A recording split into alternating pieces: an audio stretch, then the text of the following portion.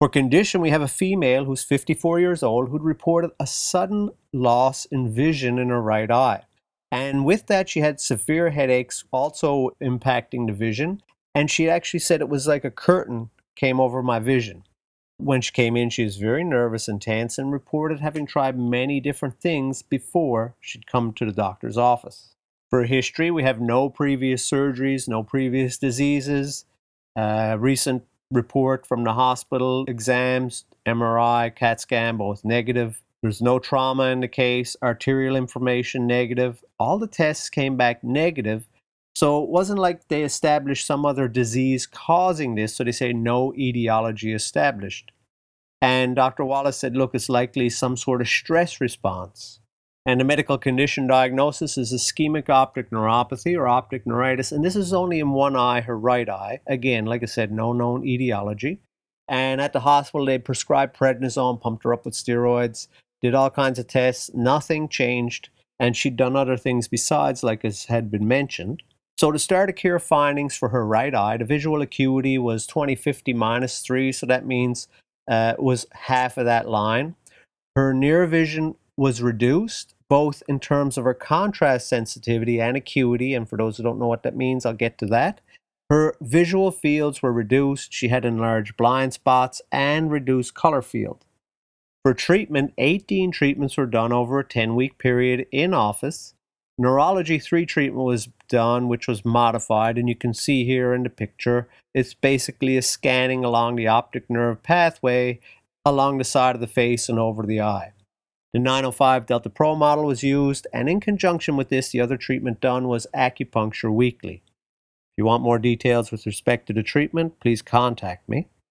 Results So, the eye exam uh, was done after 18 treatments, revealed had acuity, like you see in the eye chart on the right, uh, had improved by about 20% near and far.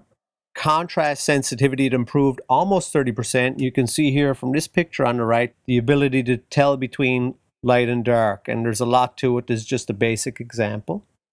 And for visual field, we'll get into more specifics, but her blind spot was reduced with treatment. Color fields expanded with treatment, and her visual field defects were reduced. So with respect to the visual field, you see the picture up in the upper right. Someone looks ahead, they have a certain field of vision.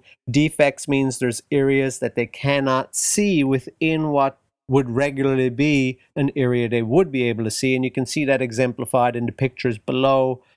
So the defects were 14 at the start of care. In other words, there were 14 defects in her field, now reduced to nine with less severity in the defect areas. They were no longer absolutes.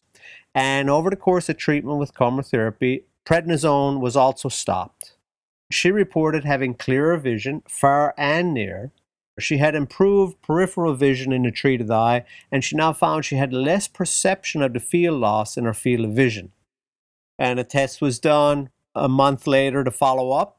The visual field defects actually continued improving. So at the end, they were nine. At the end of the care period of treatment, she was at nine. Now they'd gone down to five. And remember, at the beginning or at the start of care, they were at 14.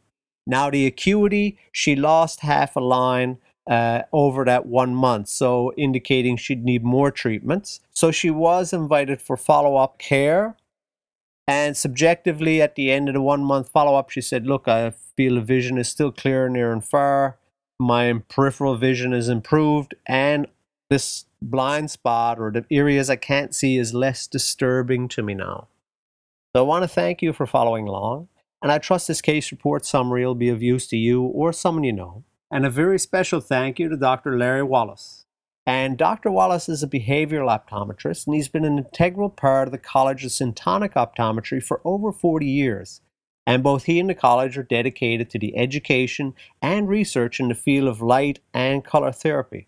He is a certified low vision specialist and has worked extensively in the field of visual rehabilitation for head trauma and brain injury.